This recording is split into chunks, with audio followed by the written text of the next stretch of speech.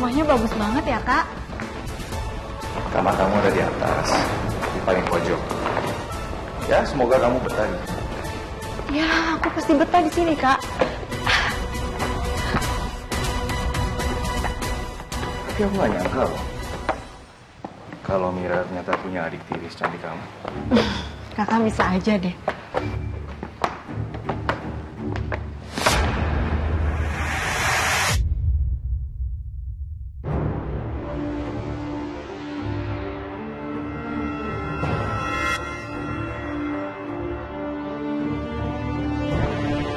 Kamu kalau dari dekat kelihatan lebih cantik.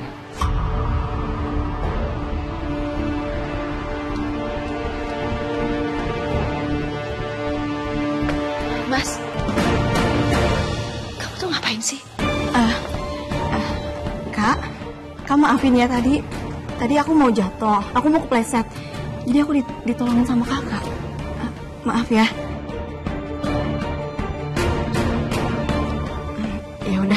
Kalau gitu aku kamar aku dulu.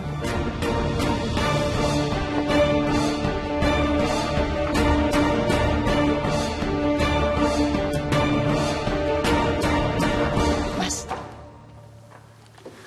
Mas kamu tuh apaan sih? Aku udah tahu pasti kamu mikir yang enggak-enggak.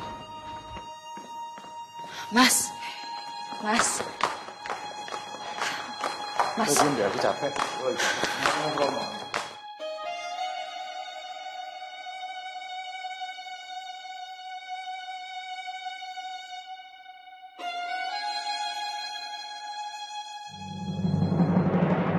Mas, kamu mau sarapan apa?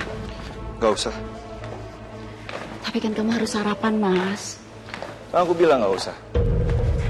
Aku udah bikin banyak makanan loh buat kamu. Udah deh, kamu gak usah sok perhatian gitu sama aku. Sari? Iya, Kak. Sar, kamu bisa kan bikinin aku kopi? Ah, iya boleh, Kak. Mas, kenapa kamu malah nyuruh Sari? Biar aku aja ya. Enggak.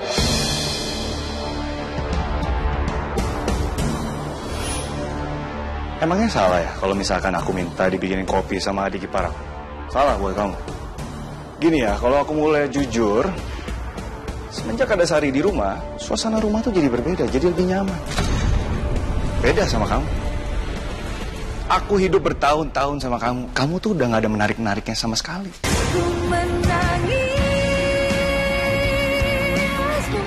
Ya Allah, Mas. Tega kamu ngomong kayak gitu depan adikku. Ya emang itu kenyataannya kan? Ya kan? Sudah, sudah. Nggak usah ribut. Tuh, sarapan sudah siap. Ayo kita makan. Enggak, aku gak nafsu makan. Mas. Mas, tunggu, Mas.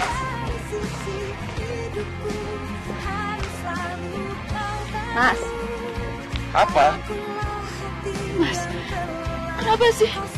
Kenapa kamu malah minta tolong sama Sari? Harusnya kan aku yang layanin kamu. Terus aku salah? Aku aku salah karena aku cuma minta kopi sama Sari. Tapi aku istri kamu, Mas. Oh, aku aku tahu, kamu kamu cemburu sama Sari. Iya. Kalau kamu mau jadi istri yang lebih baik, kamu belajar sama Sari.